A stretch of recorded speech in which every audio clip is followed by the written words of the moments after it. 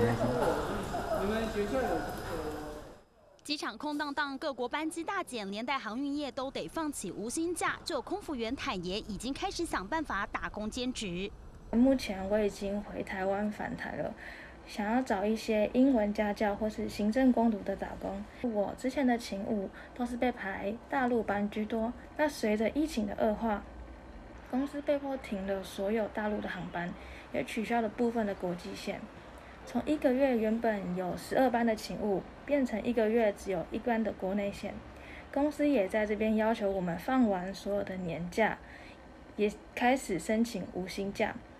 原本的勤务归零，空服员只能返台休无薪假度过非常时期。同样受到疫情影响的，还有工程师及派遣作业员。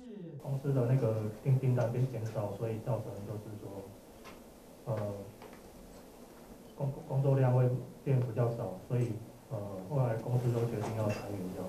过年后就因为武汉肺炎的关系，我们甚至于有产线有三个礼拜的在上班前一个小时。被通知说今天可以不用上班，因为就是原物料全部在都被扣在大陆那边。新冠肺炎冲击台湾市场，几乎各行各业都逃不掉，由此仰赖中国原物料进口，甚至是工厂订单的产业。一些外销导向的产业，呃，似乎可能呃主要还是在一些呃这个原料供应链断裂情况，影响这个呃产能的这个利用率。那主要冲击，我觉得还是在呃餐饮业、航空业、观光业。所以整体来看呢，这个行业。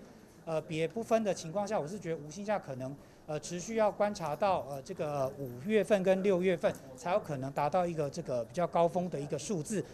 尽管人力银行分析，目前全台放无薪假的劳工还不到四千人，但劳工的忧心却早已蔓延。根据统计，有高达百分之七十七的劳工对疫情感到焦虑，更有百分之四十六，将近五成的劳工认为职场的防疫不够完善，上班上的胆战心惊。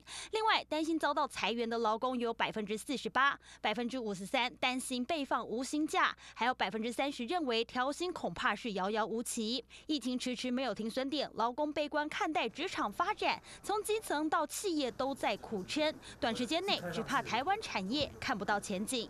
欢迎新闻简约玲、黄云婷台北报道。